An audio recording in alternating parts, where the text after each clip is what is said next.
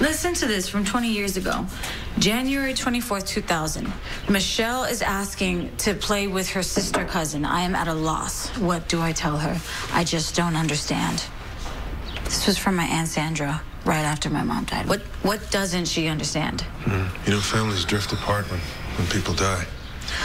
Yeah, okay, but this this seems like a like an excommunication, like my dad cut Sandra off. Well, do you remember that happening? No, I don't remember any of this. I mean, I don't remember a lot from when she died, but something is off.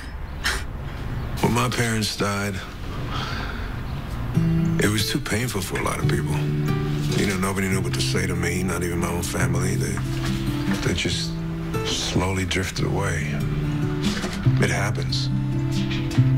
Maybe aunt just didn't know how to handle the fact that her sister was gone. And seeing you was a reminder. Okay, well, if that's true, that that sucks. It does. Through the walls, I hear lovers. You're gonna go. You're gonna be all right. The TV's on, I keep it playing for the light.